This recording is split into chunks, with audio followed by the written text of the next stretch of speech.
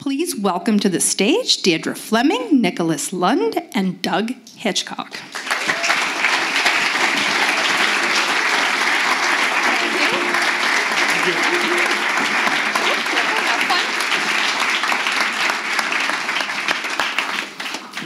Thank you again, both of you, for joining us for Maine Voices Live. Thanks for having us. I wanted to start uh, this conversation by um, saying that I've been reporting on the outdoors in Maine for almost 20 years. And in the last few years, this strange thing started to happen. It happened, started around April 2017. Somebody at Maine Audubon, maybe it was Doug, contacted me at the paper and said, There's this really unusual event that occurred this week. There's two rare birds that have been in Maine. Um, one was the vermilion flycatcher on Hog Island in Bremen, and then two days later, a um, Fieldfare. a fieldfare, thank you, was, was seen in Damariscotta. And uh, he said it's very unusual that two rare birds in the same week. So I went to the editors and I told them, and they got all excited. And they said, Can you get that story for tomorrow's front page? I said, Yeah, that's no problem. So I found people who had been in Damariscotta. I found people who had been in Bremen, interviewed them on the phone. They sent a photographer to Damariscotta for the birders looking for the fieldfare, which is native to Northern Europe and Asia. So it was very unusual that it was here. And uh, it ran on the front page. And if memory serves, both rare birds were on the banner on the Portland Press Herald. So then, four months later, in uh, September 2017, again, I get Doug contacts me from Maine Audubon and says, There's another rare bird in Maine. It is the uh, Fork-tailed fly. fork-tailed flycatcher. Thank you. But who's counting? And ironically, it's at Gilsland Farm. So there are people here and people come from, coming from all around New England to see this bird. So I go, I tell the editors, and again, they want the front page story. Can you, can you drop what you're doing and go there and do a story? Sure, that's no problem. I go to Gilsland Farm with photographer Jill Brady. She got an amazing photo with Doug's help of a fork-tailed flycatcher, and it ran, the photo ran really big on the front page. So a year later, in August 2018, last August, when Doug contacts me, or maybe it was Jeremy Kluge, who used to be with Maine Audubon communication director, who I believe is here tonight. Uh, one of the two contacted me and said, "There is a this great black hawk in Maine, in Biddeford, very rare. Only the second time it's been seen in the United States, first time in Maine." So I tell the editors, and they want a front page story. At this point, I said, either to Doug or Jeremy, and I said, You folks at Maine Audubon should ride this horse as long and hard as you can, because I don't know how long the editors are going to want birding stories on the front page. but I go to Biddeford, and sure enough, there's a people from as far away as Arizona. There was a woman from the Midwest who was having a big bird year. There are two guys who had driven from upstate New York overnight to see this great black hawk. So by November, when Doug tells me that the, the great black hawk had settled in Deering Oaks Park, and the editors again want coverage of it. In January, this past January, when the bird falls out of the tree and is rescued by a local woman and brought to Avian Haven, and news editor John Richardson says, Can you drop what you're doing? Find the woman who rescued the great black hawk. We want it for the front page tomorrow. We have to get that story. And, and through Facebook, I found the woman who rescued the great black hawk. She might be here tonight. Is she here? She's a hero. At that point, I realized two things after the Great Black Hawk rescue story. One, the editors know what they're doing. And two, all those birding organizations around the country that say birding is the fastest growing outdoor activity in the United States are probably right. This past winter, I did a story on the growing number of birding festivals in Maine. And in fact, US Fish and Wildlife reported in its last National Survey of Outdoor Recreation that in 2016, the last time US Fish and Wildlife did the survey, birders outnumbered fishermen and hunters.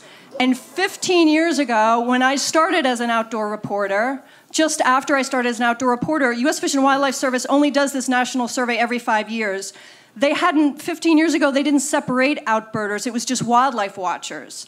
So now birders get their own their own category in this national survey.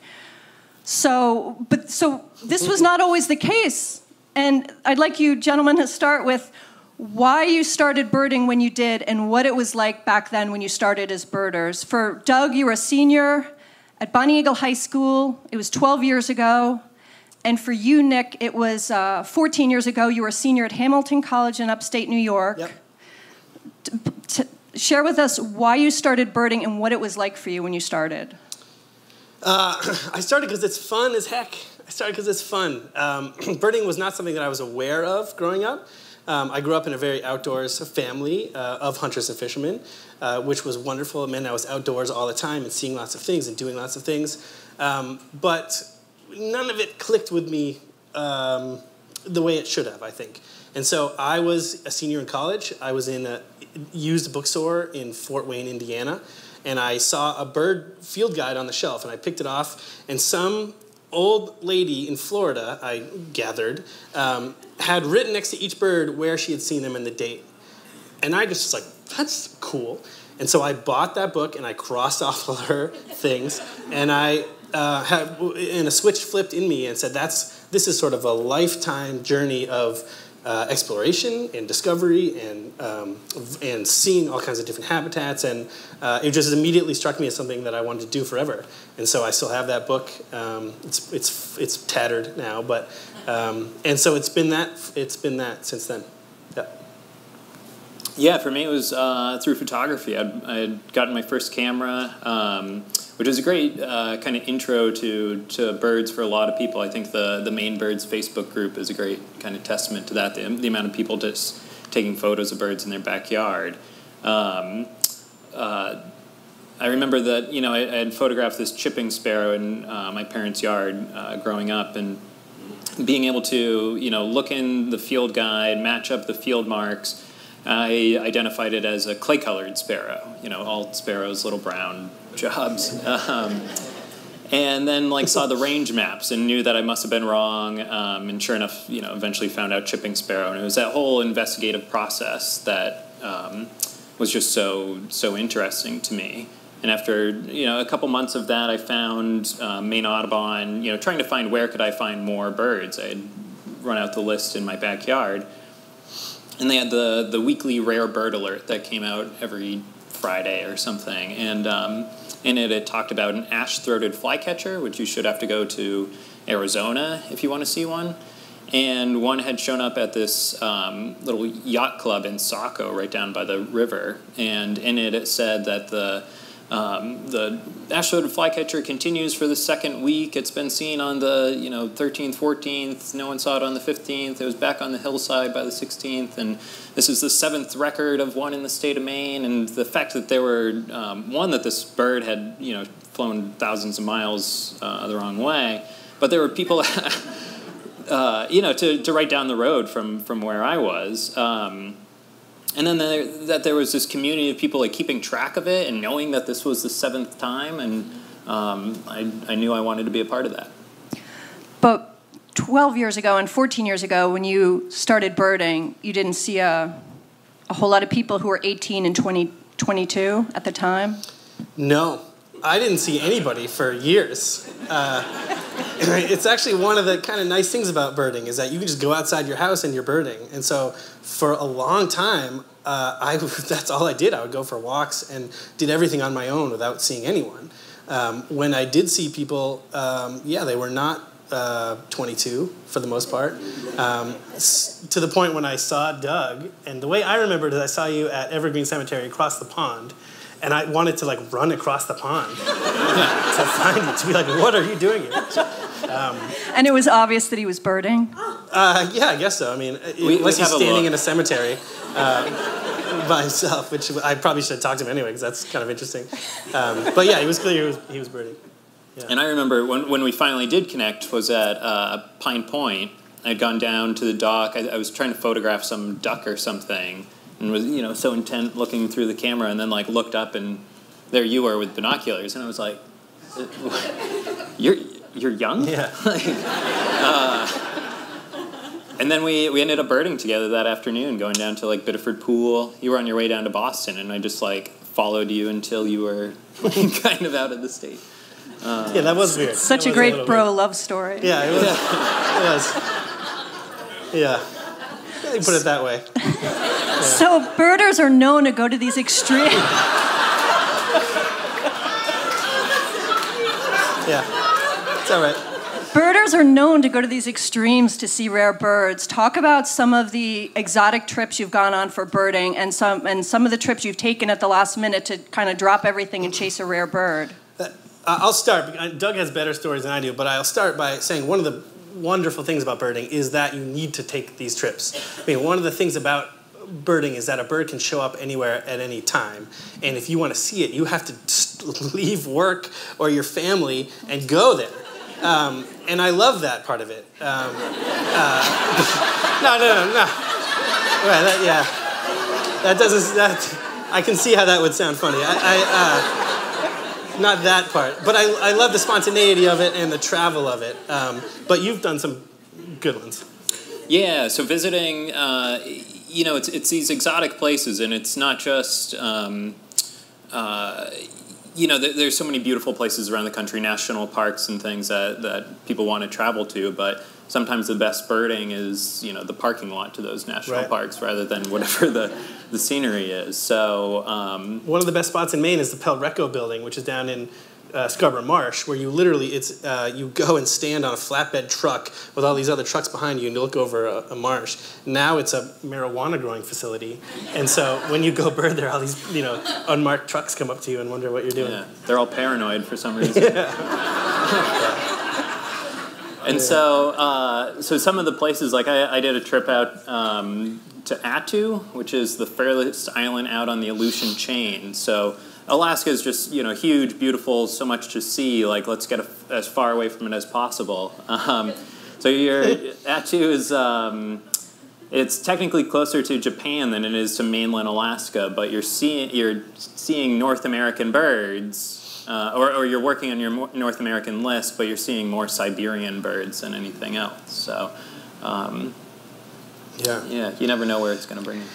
It, and for me, I mean, I've the, one of the reasons, another reason I love birding is because it you need to go everywhere to see all the birds. I mean, the goal is sort of see all the birds, and to do that, you need to go to all the places, and so that means the middle of the ocean, the swamps in Florida, dry tortugas off Florida, the border from uh, you know the Rio Grande all the way to Arizona, um, and off the coast in the Pacific to the tundra in Nome, Alaska. These um, are all places you've been. Yeah uh, tops of mountains, and you know you. So I've, you see so much of the country and of whatever country you're in um, that it's really sort of rewarding that way. Well, Doug, don't pretend like I'm not going to ask you about Chicago. Okay. so yeah, I um, a few years ago uh, there was a bird called. Um, short-billed Elaenia, which you should, it's a South American flycatcher. It was the first time one had ever been seen in the U.S. It showed up in uh, Douglass Park, which is kind of downtown Chicago. Um, you could probably buy some great drugs there. Um, it was it was not a nice neighborhood. How do you know um, that? I saw I saw a lot. Um, no, it was it was not a nice neighborhood. Um, but the, someone found this rare bird, and this is this is one of the coolest things of birds. You never know where these insane rare things are going to show up. There's I would have rather been anywhere else in that state. um, but here we were, uh, another Maine birder and I flew into Chicago. The day we arrived was the first day the bird wasn't seen.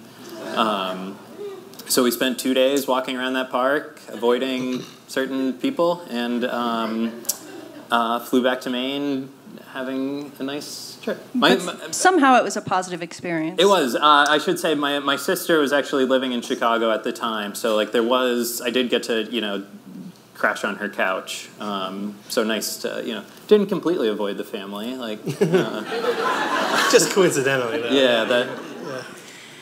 So the great black hawk, Doug, you were sort of at the epicenter of the buzz around this bird in Maine. Talk about um, that experience and how rare this this this event was in Maine birding that it was here for so long and there was such excitement around it and it was in such a public place. Yeah, so it, it goes back to April of last year. Um, there was uh, a birder, Alex Lamoureux, who was down in uh, South Padre, Texas, a bit, you know, one of the best places to be looking for birds as they're migrating back north. And he was at this hawk watch and saw this raptor go overhead, fired off photos of it, um, and I and knew it was one of these one of the Black Hawks. Eventually figured out it was Great Black Hawk, which was the first time one had ever been seen in the United States. He watched it for like 40 minutes or something as it circled around, being mobbed by crows, and then it flew off and was never seen again. So, so that was big news in the birding world. You know, anytime a first you know U.S. record shows up, um, everyone's uh, super envious. Months go by. Um, as you said earlier, it was in August. All of a sudden, um, a photo pops up on this Facebook group called uh, "What's This Bird." Uh, appropriately named, and it was a woman who had photographed this great black hawk in Biddeford, um, right by Fortune's Rocks, uh, and um, yeah, it ended up being the exact same bird by looking at. Um, we eventually relocated it a couple days later, and then it was only seen for two days in Biddeford. And good enough photos were taken, we could see the patterning of these feathers on the underside of the wing, called the, the underwing primary coverts, um, there's very intricate little patterns on them. Um, and we could match Alex's photos from April to these photos that were taken in August. And it's essentially like looking at the fingerprint of the bird, um, and they perfectly matched. So we knew that same bird had traveled the whole way here, uh, much to the chagrin of all the birders between Texas and Maine uh, that missed the bird. so it disappeared for um, uh, a few more months, and then uh, it was eventually photographed off the Eastern Prom at the end of October. And then almost a full month later was when it was finally found in Deering Oaks. Um, and that's where it then stayed for at least three more months into January. Um, and thousands of people got to come see it uh, in that time. You led some school groups on tours there. It became almost like the resident bird. Yeah, so I was um, uh, very lucky to, you know, to live in Portland, live so close to it, to be able to get there almost every single day. The first day um, we were there, we had actually, it was a Thursday, we had done our bird walk at Gilsland Farm. Um, I think someone like either sent me a screenshot of it. It was again posted on a Facebook group, and so we ran right down there, and it was in Deering Oaks, right across the street from King Middle School. And we, uh, Maine Audubon does a lot of work with King Middle School, so I was actually texting teachers like, "There's this amazing bird outside. Like, you need to get your kids out here." And um, to the credit of of those teachers. Um, for that, that Thursday and then again on Friday in between classes. So when the kids were, were switching, they would bring groups of the students out, and I'd just have the scope set up for them. So all the kids got to come through. The best was uh, on Friday, one girl looked through the scope, looked at the bird, and she said, she was like, the bird's been here for a while. so, um, and, and it probably had been, uh, which was uh, pretty awesome that, that she probably had seen that bird longer than anyone else had. And while you're very well known among Maine birders across the state and very highly regarded, that bird sort of made you famous among middle schoolers. Didn't you say they'd come up to you in the supermarket and? Uh, I, I, was recognized once. um, the best was uh, uh, we had the, the King Middle School um, brought some of their students to Evergreen Cemetery um, this spring. We were doing some bird walks with them, and one of the teachers said, um, you know, in prepping the kids, they said, "Oh, you're going to get to meet a, a, celebrity." And after they introduced me, after I birded with them, I heard one of the kids, you know, walking out say, "When do we get to meet the celebrity?" Nick, you have this this blog that has a national following, The Birdist, and you have thousands of followers. So, you know, from your perspective as a birding blogger who's got this huge following, talk about why you think this bird captivated at least the people in southern Maine and greater Portland. there, there is no precedent in, in other parts of life for this thing happening. You know, it would be like a zebra showing up in the woods. Someone's out hunting and they see a zebra. Uh, it's like that. And uh, because birds have wings and they can really go wherever they want, um, this happens occasionally. It's called, called vagrance. Um, this, uh, this, the great blackhawk is you know, one of the most extreme examples of it, really, ever. Um, and so when people wrap their, I, their heads around that, this bird, you know, this species has never been seen north of Mexico and, you know, spends most of its time in Mexico or Brazil. Um, and now it's just here in Portland, just hanging out and got here on its own. Um, it's just, it's fun and interesting and cool. Um, you know, this bird was, was so, you know, this species had probably never seen snow before, you know, in its whole evolutionary history. Um, and so here was, and that's the other thing, this is an individual, um, you know, this is one guy who just decided to fly for whatever reason, flew for thousands of miles, and now ended up in this place far away. It's just, um, it's exciting and interesting and, and weird. And he is a guy I learned earlier when we were talking that the bird was uh, requires a special test to figure out which sex the bird is. And Avian Haven, where it was brought after it fell in Deering Oaks Park, did that test, and it, the great black hawk is a he. Yeah. Yeah. And he hasn't he hasn't quite left us. So there's going to be a monument or a statue anyway in his honor, depending on how you look at it. And um, and his remains are going to be are being he's taxidermist is mounting him, and he's going to be in the Maine State Museum, but. There are some people that think maybe he should have been kept closer to southern Maine. So let's have a show of hands. How many people think the Great Black Hawk should have been in, encased at Maine Audubon? Political. Yeah, so it is it is worth saying that like most we know that most uh, most vagrant birds tend to be juvenile males, young birds. Which makes um, sense, right? You know? Yeah, we've all been there. I mean, we didn't even need to tell you that. We all went yeah. to that too. Yeah, we don't need to tell you that. Um, Uh, but there's there was no precedence for this event where a lot of the, the things like the even that South American fork, fork-tailed flycatcher that showed up in Falmouth there we can explain why we know we, we know the errors that the bird made to get here it's usually uh what's called a mirror image migration um, wandering spring overshoots there, there's a number of Storms, kind of droughts. yeah, there's there's a number of things that cause vagrancy in birds.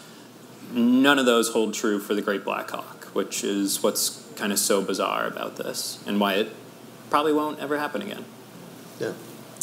But while he will be in the Maine State Museum, he might visit Maine Audubon. Yes. We we will definitely put in our request to get that mount to come visit uh, Falmouth at some point. or we'll heist him. Which I And, uh, should have said, but I should mention the uh, Friends of Deering Oak is doing a, a fundraiser right now to help fund the. Um, so there's going to be a, a life-size bronze statue put in the park of the bird, um, and then the part that Maine Audubon is is um, even more chiming in with is some interpretive signage to kind of talk about the importance of those green spaces in these these large cities. Um, there's there's some part to the story that the bird definitely chose that park because of the mature trees, the riparian habitat, the water that was there. Like it, it had yeah the abundance of squirrels. Um, fat squirrels as well as city rats. rats. yeah. Um, so you know there there is kind of a, a greater message to this bird and, and the place that it chose to be um, that really shows the importance of those green spaces. So the Maine state bird, or the lack of the Maine state bird, thanks to Nick Lund, who researched this, and the fact that the 1927 legislature picked uh, just a vague reference to the chickadee without picking a specific chickadee. We all now know that we don't have a specific state bird. Nick, talk about the research you did. and research. A news, a news story that Yeah. some kids in Skowhegan got a hold of and uh, asked their state representative to put in a bill. You went to testify in the legislature. Mm-hmm. Talk about the research you did and and that sort of the, the conversation around that issue. Yeah. Uh, research is a very generous word for what I did. Um, it was, I think, my first day at Maine Audubon. And you know that day when you start your job and you're just sort of filling out paperwork and you don't really know what to do? I had some downtime and uh, had always, I've always liked state birds and state symbols. I'm very proud to be from Maine.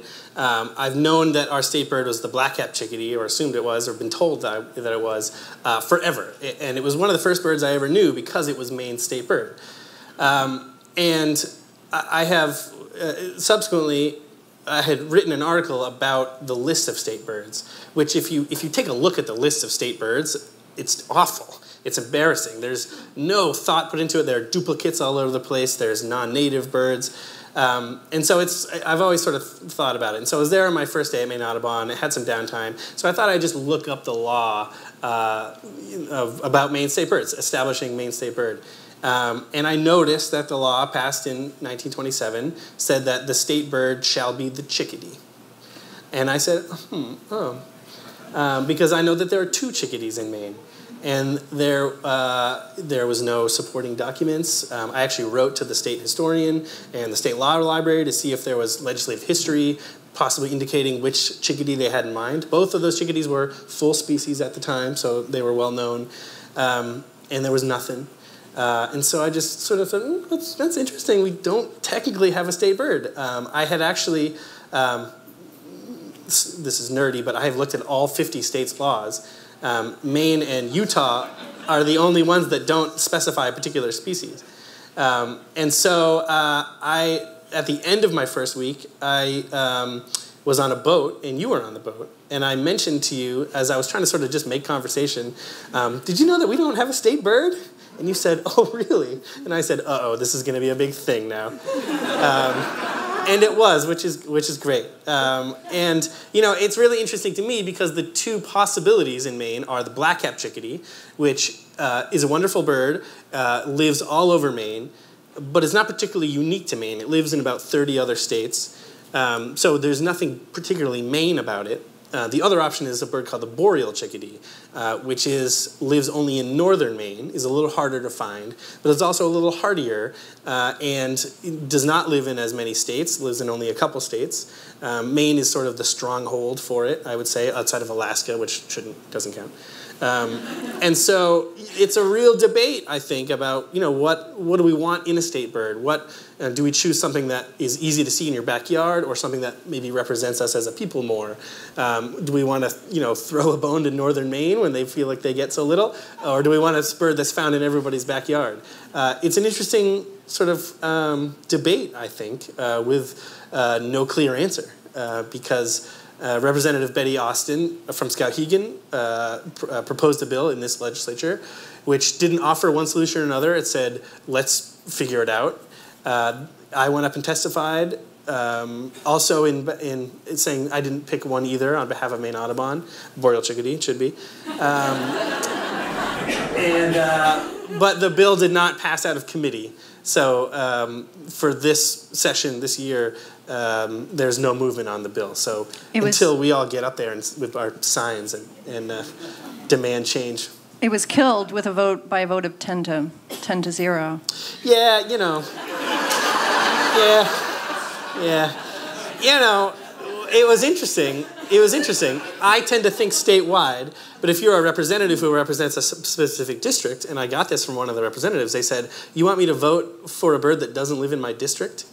Uh, that's politics, man. That's politics.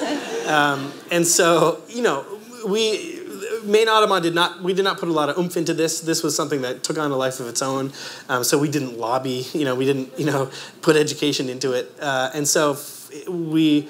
I did my job, I think, which is to you know talk about birds in Maine in a big stage, um, but we didn't have a dog in the fight necessarily, um, and we'll see what happens next year. Do you think the issue will come up again? I don't. I don't know. I don't know. If you, people want to write some more letters to the editor out there, then we can revive it. So, what are some good state birds, and what are some poor state birds across the country? Across the across the country. They're mostly awful. They're mostly embarrassing. There are uh, two chickens, um, Delaware and Rhode Island. They don't have very much. You know what I mean? They they had small pickings to choose from. Um, there in South Dakota, it's a ringneck pheasant, which is a non-native introduced species. Um, I think the worst are Texas and Florida, which have the most vibrant bird life of any two states in the country. They have beautiful, you know, uh, roseate spoonbills and crazy warblers that are only found there, and seabirds. Uh, both of them have uh, the northern mockingbird, um, which is a very boring bird that is bland looking and it lives everywhere and is just not unique to any of these states. And so um, I think this is a chance for Maine to differentiate ourselves. What I should say about the black-capped chickadee is that Massachusetts has it too. So there you have it. If it became a citizens referendum no and we could have any any yeah. state bird on the ballot, who would you which bird would you want as the Maine state bird? Oh man, what a great question. Um, oh, so the, and Doug, jump in. Yeah. What, yeah. Citizens referendum next year.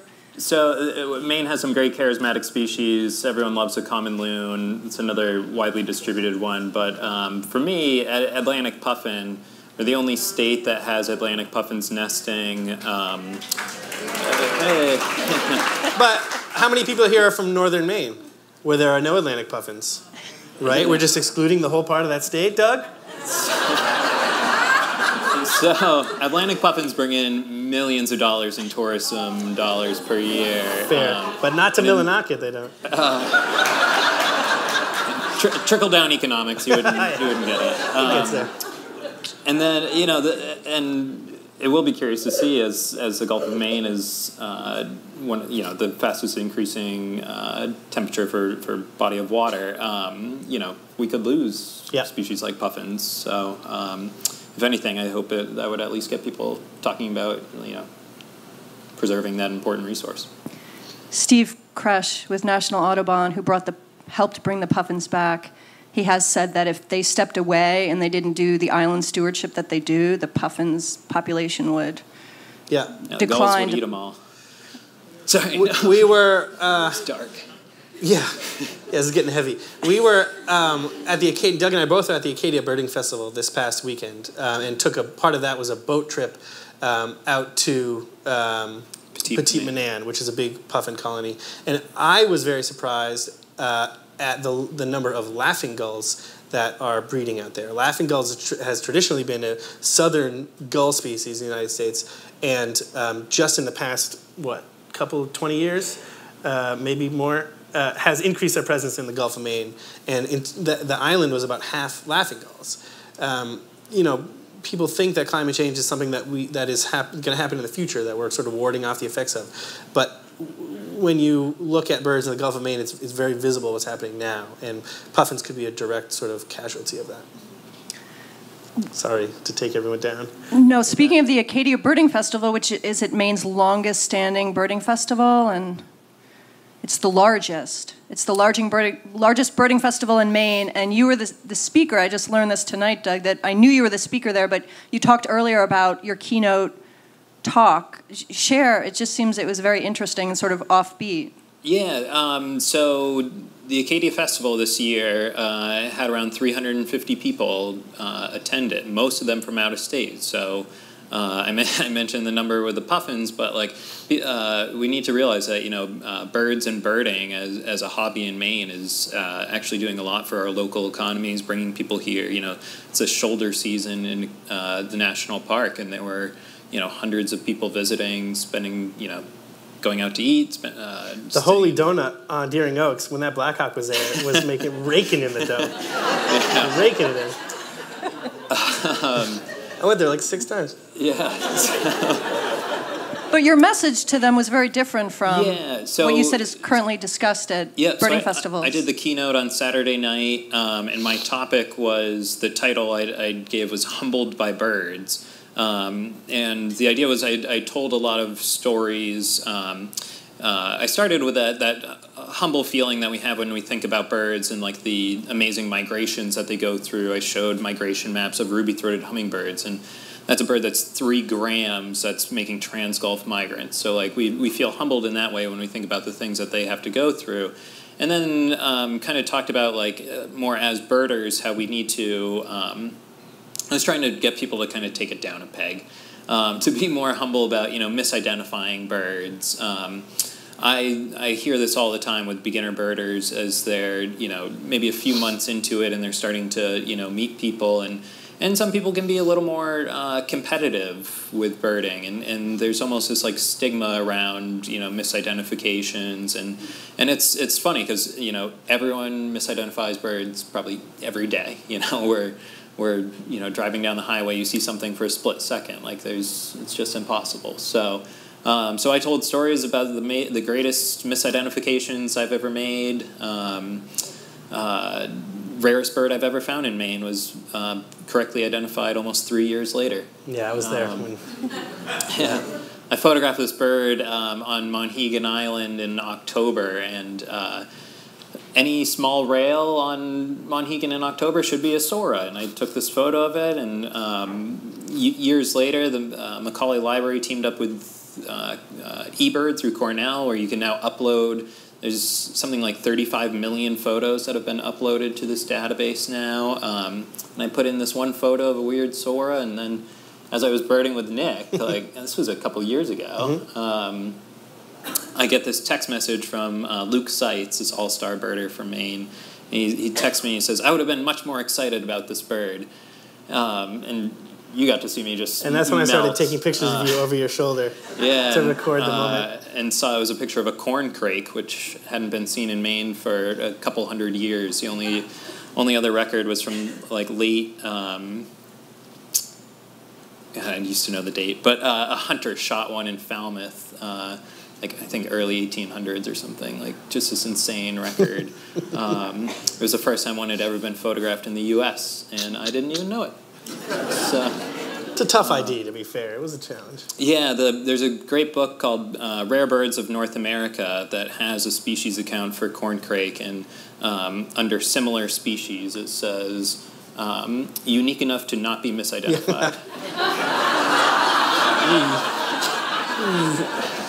Speaking of the 1800s, I think I might have time for one more question. You both work for the oldest conservation organization in Maine. You can yeah. talk a little bit, or please, Nick, talk a little bit about the history of that. And, you know, so what are some of your goals for both of you for the conservation work you hope to do in the future? Yeah.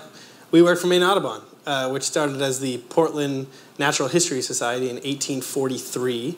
Uh, we were down in various buildings here in Portland, um, all of which had burned down at one point or another, um, losing our entire collections. I, people were um, running out with, a passenger pigeon that they had saved a couple times the 1800s. Um, you know, and back then it was really, this is when people thought that they were like giant dragons in the ocean.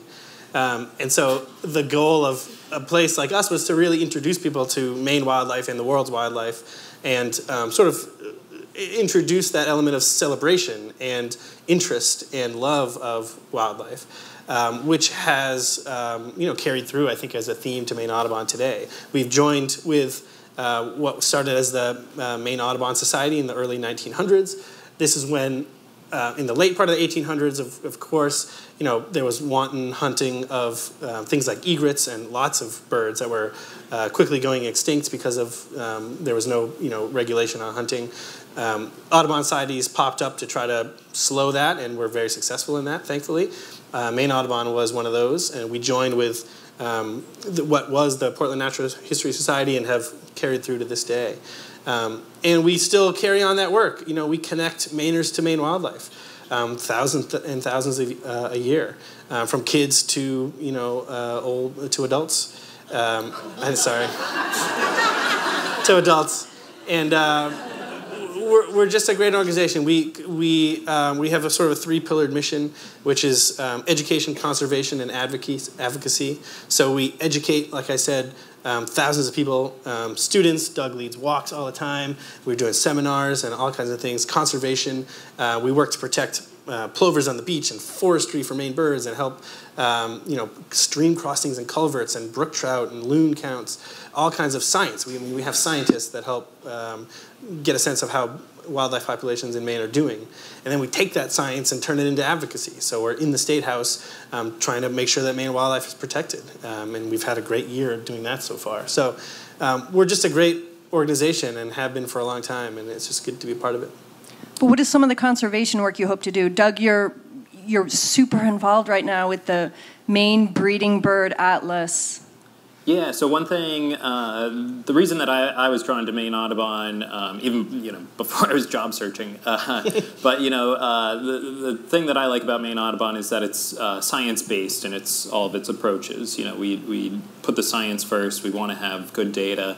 Um, so one big project that um, I'm involved in as the outreach coordinator. Uh, that was launched last year. It's a, actually a project by the Maine Department of Inland Fisheries and Wildlife called Maine Bird Atlas. Um, which I think is an, an, important one to point out that so many people, you know, our interactions with uh, Maine IF&W tends to be we think about, you know, the game species, the ducks, the deer, the moose, the bear, like.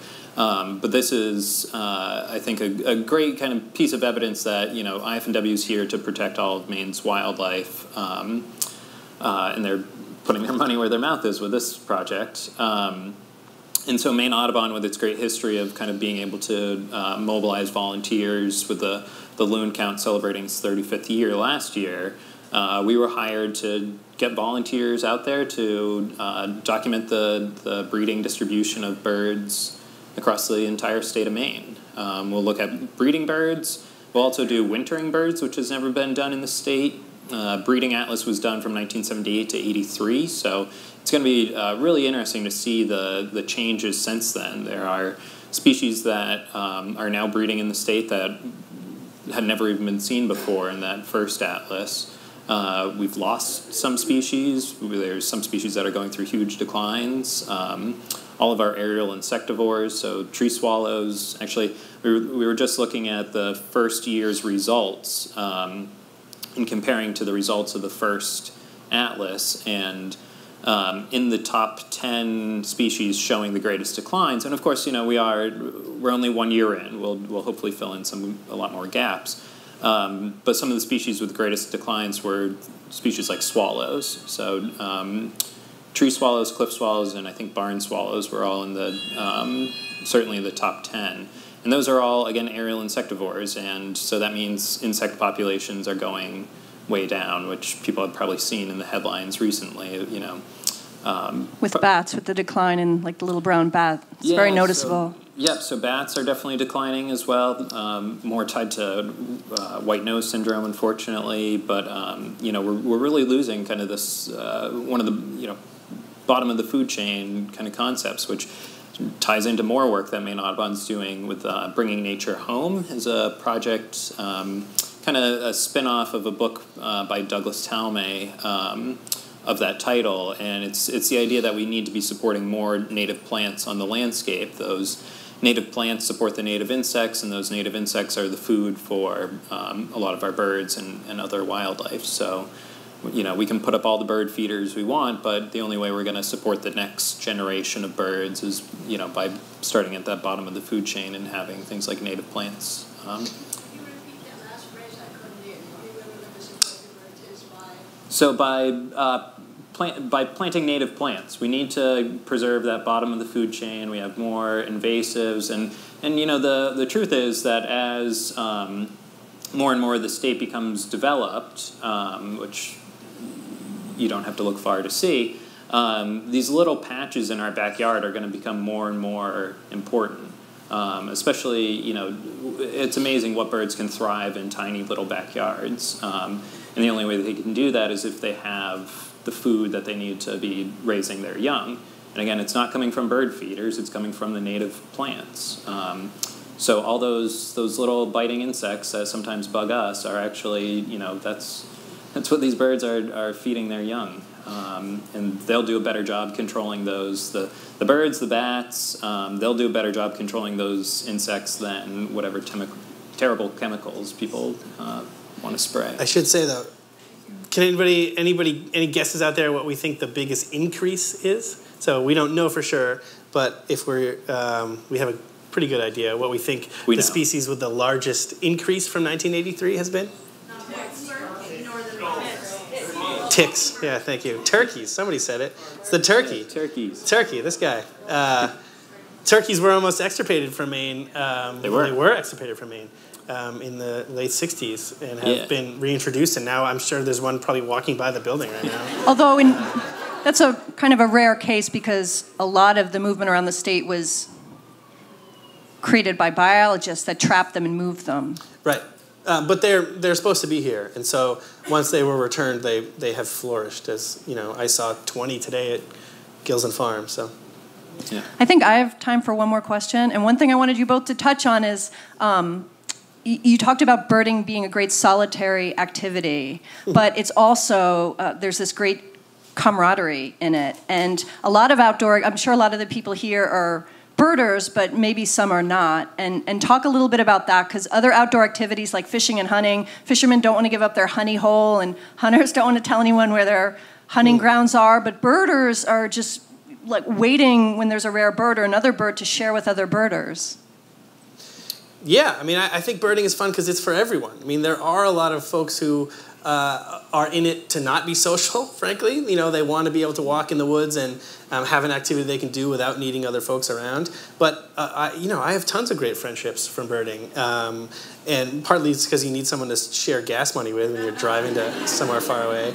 Um, but but you're right that they're really you know it's not it's non-consumptive and a bird isn't your bird it's shared by everyone who sees it and so um, getting people onto a bird or all going as a group to see things or just to go out there is a real sort of um, it's at, at, the heart of birding and it's one of the funnest parts. It's just blown me away when I've gone to do these stories that we've talked about and seen a crowd of birders and they're almost waiting to help somebody who's driving up to show them where the bird right. is. And it's worth saying, like we've been talking about, you know, some of these more extremes because they're more uh, maybe fun to talk about. But you know, uh, this idea of birding. Um, you know, people always ask what's the difference between birding and bird watching, and I think you know, birding is actually that pursuit, the the sport of bird watching. Um, you know, it's it's going out to actually see these things. Um, but even for you know people it's amazing the number of houses you buy you drive by that have bird feeders. You know birds just have this kind of awe-inspiring kind of ability about them that that humble feeling I was talking about earlier that you know we think like you know a little bird like a black-capped chickadee can survive Maine's winter is just remarkable. And then uh, the other thing is they're so accessible. Um, you know I would I would be a you know large carnivore specialist if I could, but I can't go out and see bobcats every day or mountain lions or. Um, but birds, you know, we could step outside and watch the the pigeon flock out here, and and even in a flock of pigeons, there's some amazing behaviors. Just watching their maneuverability as flocks in flight, like um, they're they're accessible to everyone almost everywhere you go and things like the Maine Birds Facebook group with now it's somewhere over 23,000 members um, is kind of great proof of yep. the the attraction that birds have to people. Yep. I think we're going to open it up to questions from the audience. Start right over here. Hey, Doug. Hey.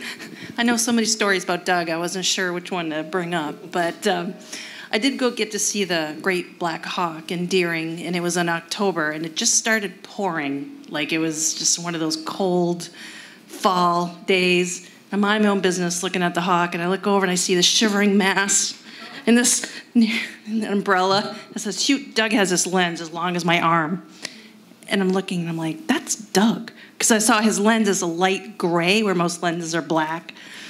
So I go over and I'm like, hey, is that you, Doug? Under the umbrella, you know. So he was there like day and night practically taking pictures of that. And the only reason I remembered his lens being this off color, because he was at my house three years ago when I had seen a rare Western. Um, Rufous. Rufous. Well, it hasn't been determined yet. I have not got a determination yet on that. And I remember him being in a nice warm house, taking these great and phenomenal pictures of the Rufous hummingbird. By the way, it was his email that said, "Don't put your bird feeders away." I'm like, all right. So I got mine back out. Two days later, I had the I had this Western hummingbird. So yeah, that go. was great proof of outreach working for Maine Audubon. We, we wrote a, a blog post. So our ruby-throated hummingbirds show up in May. They leave by October. But after that is when these rare western hummingbirds will show up in Maine. So I had done a blog post and said, you know, keep your hummingbird feeders up later. Um, you know, see if we can attract one of these because we know they're out on the landscape. They're they're finding you know flowers that are still in bloom, um, and they tend to be drawn to to feeders when they're left up.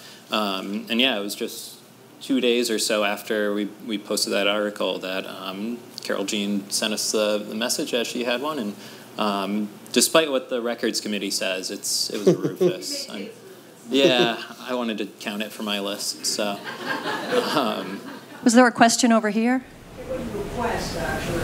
Um, since you write for the paper, uh, and there are people who couldn't fit in here tonight, will you be kind enough to collaborate with these two gentlemen and get the cogent points?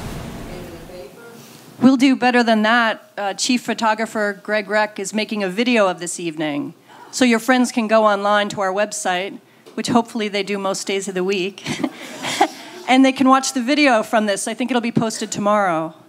It might be a better closing, but maybe that's uh, in in referencing you know getting this out there into the news more. It's maybe a good chance to um, give a quick round of applause to Deirdre Yeah. for, for covering all the all of these rare birds, for answering those phone calls, for kind of um, you know it's it's been much longer than those those rare birds. I remember we were talking earlier about that 2015 article about young birders in Maine. Um, and I think it's just it's it's been awesome to see this uh, snowball and see that the Press Herald has been so supportive of getting people talking about uh, you know the importance of, of these birds that are showing up in the state. So Deirdre, Press Herald. Uh, Well, wildlife is cool, right? We live in a state where there's, we're so fortunate to have abundant wildlife, and you know, my theory is you, you write about it, people are going to want to read it. Yep. I think there's a question here. Yep. I was thinking about the favorite birds you were mentioning was the black hawk. oh, Ooh. Hang on, I'm coming to you with the mic. This is when we steal the Black Hawk. I don't know. Does that mean it's, we're, we're done? Well, we can hear you, so. Okay, well, my question is about the vagrant birds and, and especially the black hawk. When they do get in their unnatural habitat and find themselves in strange places, do are they able to find their food source, a food food source that they can, you know, survive on or or whatever? It must be different than what they're used to. Yeah, so the great black hawk was a really fun example to see. Uh, you know, this bird was in an area that it never would have otherwise occurred in, and was eating prey that it never would have encountered before. So when it showed up in August, it was mostly raiding birds' nests. Um, there's some amazing photos of it going into a tree. Um, it found an, an American goldfinch nest, and it was plucking eggs out of the nest. Um, Aw. but the black hawk. Um, and then You gotta when it- eat. You gotta eat. when it showed up in Portland, it was mostly eating squirrels. Um, you know, yeah, Oh, wait till the next one. Wait till the next one. yeah. Um, but what's what's really interesting about that is that most of the squirrels it wasn't killing. Um, most of the squirrels were roadkill, and it was going over and picking up the roadkill squirrels. So. Um, the, the great black hawk is in this genus called Buteo which have these really long legs, and cl- one of their closest relatives are called crab hawks, and so they actually feed in the intertidal zone. So it was really fun to think that like you know bet- between August and November that this bird was like catching lobsters in Casco Bay somewhere. But I want to say quickly that it moved from squirrels onto rats in Yeah. Portland. So nobody, there's no uh for that. It's just a plus. Yeah, seeing it was eating No. rats. It actually stole two pigeons from a local Cooper's hawk. So the Cooper's hawk had killed pigeons, and then it would take them from it. Um, it was seen one of the only uh, uh, other native prey items that it took was uh, uh, what looked like redback vole or one of the voles um, when it was hunting along 295. Um, and in that same idea, not to go into this too much, but I got a little obsessed with this bird. Um, was uh, seeing native species reacting to it. So when we first found it in in uh, Biddeford Pool or, or Fortune's Rocks, it was because I heard robins freaking out. They were giving this alarm call that robins do, and that's what cued off uh, for me to look in this this little wet area. Um, and then even when it was in Deering Oaks, like the, the there was a local red tail that gave it lots of grief. Uh, and one of the most fun things to watch was um, the the live gray squirrels um, would investigate. And there's this really cool behavior that in the presence of a novel predator, um, the first time they, they see something, they're going to test how close can they get. So we saw these you know very adventurous squirrels that were like you know kind of edging out on the branches at this thing, like how you know testing it because they had never seen this thing. So. Um, And there's a lot of difference. I mean, um, vagrant birds show up a lot to varying degrees. Sometimes they can't find food. It's it's you know more common than not that they actually don't survive. Um, but sometimes they do. And I think another st- one cool story that's happening right now um, is a bird called the little egret, uh, which you can see if you come to Gilsland Farm. Uh, in Falmouth, the Audubon. So um, come on, stop at the store, buy a membership, and then go out into the marsh. Um, this is so we have a bird here called a, s- a snowy egret, which is a small white heron type bird, um, and they migrate uh, between up here in the springtime, summer, and then down south, Central America, South America, Florida, wherever. Gulf Uh, Coast. I defer to Doug on all my things. Um, uh, per, in the winter, so they move up and down. In um, Europe and Africa, there's another bird called the little egret. Um, and they basically do the same thing. They move um, up and down between those two places. Somehow, some way, um, a or multiple little egrets made their way from. Um, it, we're actually unclear whether it happened from from Africa to South America or uh, Europe to Maine, um, but showed up in Maine. And you know these birds are not from here. You know this is not their territory, but this little egret has returned to Gilsland Farm for five years in a row. So they have just adapted to now. They just are like, well, I'm just going to roll with this, and I'm going to migrate to South America, and are coming back and forth. And so sometimes they they they do survive. And so come on, see that little egret. That- We actually saw two this spring. Yeah.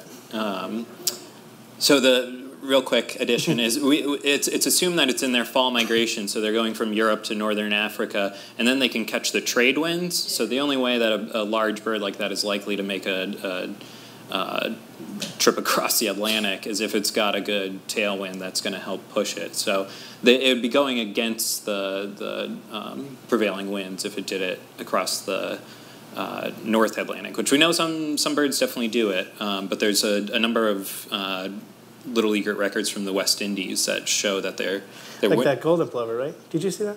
Ooh. Sorry. One of the few birds that I've seen in Maine that Doug hasn't is a European golden plover. So I try to remind him at all times, Nice. including including on stage Yeah. in front of people. And then uh, red-billed tropic bird is uh, Yeah. another bird. As the name implies, it should be down in the tropics. This bird has been showing up on uh, first Matinicus, now Seal Island, which are mid-coast Maine. And I think this is year 16 that that bird has shown up. What's interesting, it's a southern hemisphere breeder, so our summers, it's winter. So this bird's got it made that it's hanging out, you know, in the tropics. Um, all all of our winter then comes up here and it just it harasses terns all winter or excuse me all our summer it's winter uh, all summer long I think the lights coming up is my cue. Thank you both for joining us, for making birding cool. Thank you. You're great ambassadors. Thank you to our sponsors.